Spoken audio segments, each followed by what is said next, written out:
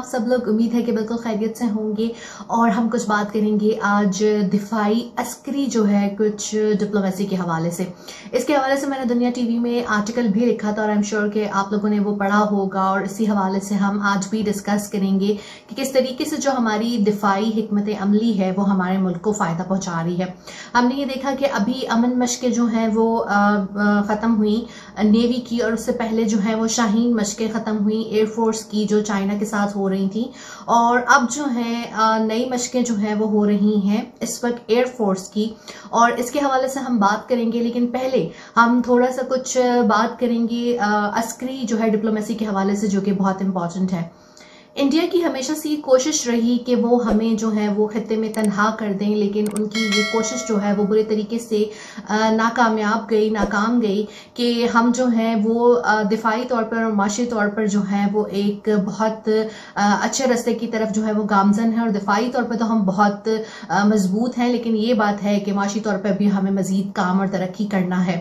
अब ये है कि सी पैक भी जो है, वो जो है बन चुका है और वहाँ पर भी तरक्याती काम जो है वो जारी हैं, जो कि हमारे मुल्क के लिए बहुत सूदमंद और फ़ायदेमंद साबित होंगे। तो इसी तरह मैं ये कहूँगी कि जो ये जो एक्सरसाइजेस हो रही हैं और ये जो इस वक्त अस्करी डिप्लोमेसी हो रही है, ये भी बहुत जो है वो मुल्क के लिए फ़ायदेमंद और सूदमंद साबित होगी, क्योंकि इससे बहुत से ममालिक करीब आ रहे हैं। अब नेवी की मशकों में इतने ज़्यादा ममालिक का शरीक होना बहुत जो है वो खुशाइन बात थी और जो चाइना के साथ मशकें होती हैं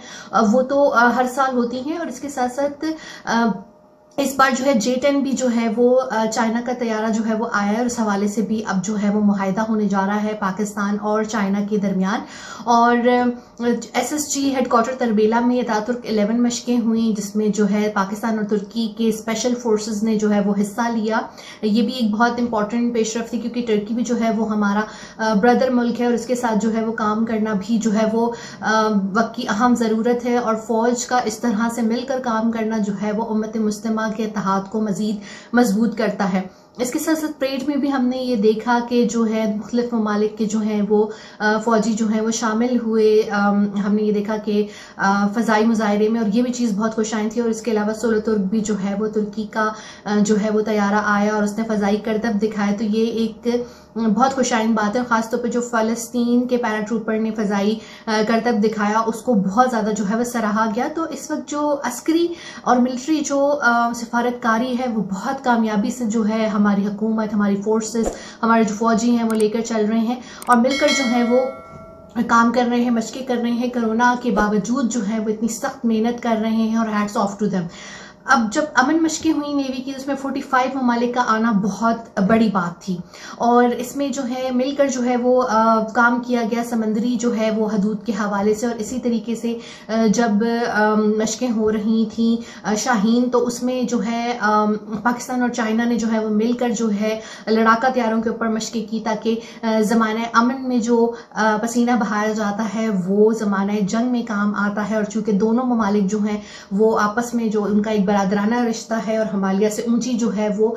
दोस्ती है दोनों की। दोनों ही ममालिक ने भारत को धूल चटाई चीन ने लद्दाख में और पाकिस्तान ने सत्ताईस फरवरी को जो तारीख रकम की पाकिस्तान एयरफोर्स के शाहीनों ने वो हमेशा याद रखी जाएगी और इसी हवाले से जो है पाकिस्तान एयरफोर्स जो है वो मुख्तलिफ़ मशक़ें सारा साल करता रहता है ताकि उस वक्त जो है हमारे जाबाज शाहीन जो है वो तैयार होने चाहिए। अभी अगर हम बात करें इन कसीर मुल्की मशकों की जो कि इस वक्त जारी हैं तो एस नीट 2021 में शिरकत के लिए जो है वो सऊदी अरब और अमेरिका से जो है वो पायलट्स और उनके जेट्स आए हैं और इस वक्त ये कसीर मुल्की अस्करी मशकें जो हैं वो पाक फ़जाइया के एक ऑपरेशनल बेस पर जारी हैं और इसके साथ साथ मिस्र, उर्दन और बहरीन की फ़जाइया को इन मशकों को मोनीटर करने की, देखने की, मुबसर के तौर पर दावत दी गई है। और इनका जो मकसद है वो ये है कि मिल के जो है वो फ़ौजी महारत और तकनीक और मुख्तलिफ़ जो है चीज़ों और ऑपरेशन और सलाहियतों को बरूए कार लाते हुए काम करना। और इस तरह की एक्सरसाइजेस जो हैं वो होनी चाहिए क्योंकि ये वक्त की जो है वो अहम ज़रूरत है। और इसी हवाले से आ, इसका जो है आगाज़ हुआ है 27 तारीख को। और इसके साथ साथ ये बहुत ज़रूरी है कि मिलकर जो है वो दिफा के लिए काम किया जाए, अमन के लिए काम किया जाए और जब इसकी इफ्ताई तकरीब हुई है तो इसमें उर्दन, सऊदी अरब और अमेरिका के दिफाई और एयर अताशीज़ ने शिरकत की और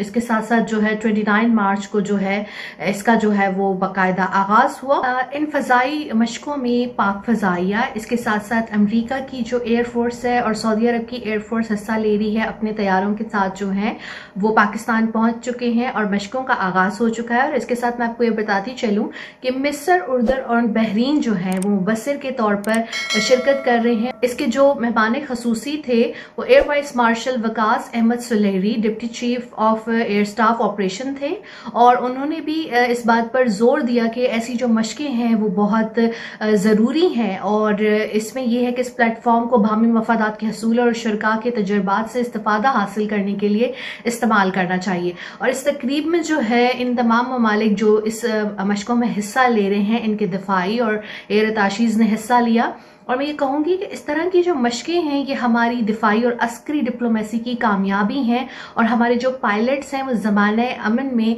जितनी मशक़ें और काम करेंगे, उतना ही वो जंग में अच्छा परफॉर्म कर सकेंगे, जिसका हमने मुजाहरा सत्ताईस फरवरी को देख लिया। क्योंकि पैंसठ की जंग हमने नहीं देखी थी। एम एम आलम ने इस तरीके से जो है वो सेकंडों में पाँच तैयारे गिराए थे, वो हमने नहीं देखे थे। इसके अलावा जो हमारे दीगर अहम जो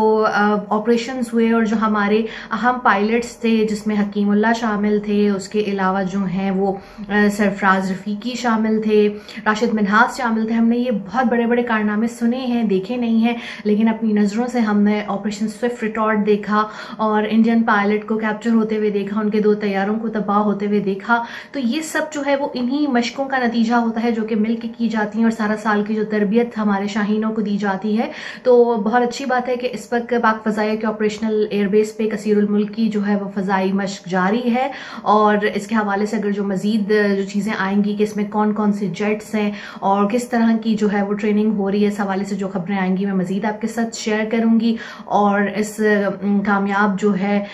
दिफाई डिप्लोमेसी पर उन तमाम लोगों को मुबारकबाद जो हवाले से जो है, दिन रात कोरोना में काम कर रहे हैं। जवेरा सदीक को इजाज़त दीजिए। अल्लाह हाफ़